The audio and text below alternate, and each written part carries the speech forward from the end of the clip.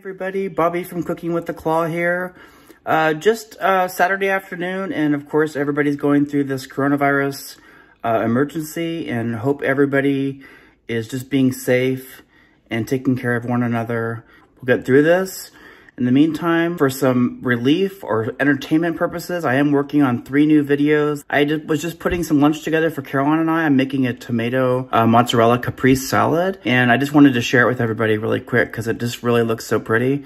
I just couldn't help but share it. So I had these tomatoes on the vine that I sliced up into pieces. And then what I did is I put basil on the um, tomatoes, as well as black pepper, a little bit of pink Himalayan salt, just a tiny bit. And then I put some minced garlic on there, as well as fresh mozzarella sliced, and I just broke it up onto all the different pieces, and topped off with a balsamic glaze. And oh my gosh, I gotta tell you, I'm so excited. This just smells and looks amazing.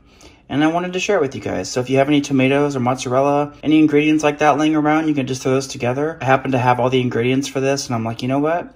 We don't want to waste any food at this point, so looking forward to better days ahead for everybody and just thinking about y'all. Thank you for your support. We'll get through this together. I look forward to hearing messages from you and keeping in touch with all my friends and people out there. Just so you know, we, we care. We're thinking about you. We do have some videos coming. And to be honest, in the kind of in the grand scheme of things, I feel like it's not really that important right now. But I thought maybe it might be good to have some of those videos to kind of like relieve people's mind, have something to watch and just kind of like you know, take your mind off every other things right now. So just be safe out there. Take care, you guys.